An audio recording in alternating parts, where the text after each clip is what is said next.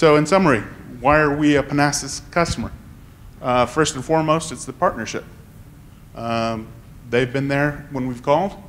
Um, the support is great, and um, we get to talk to their support people and tell them what our particular issues are on a regular basis.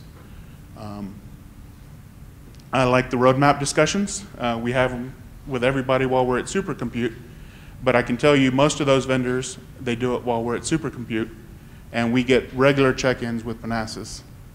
Uh, I'd say at least quarterly, just to make sure that uh, we know what's coming up and where it's going. Uh, performance. Uh, so far, like I said, two storage vendors have been able to meet the demands of our HPC, um, uh, but Panasas makes it easy. And last but not least, looks like I uh, cheated off of Steve's slides there, the TCO. Um, we are very aware of what our TCO is.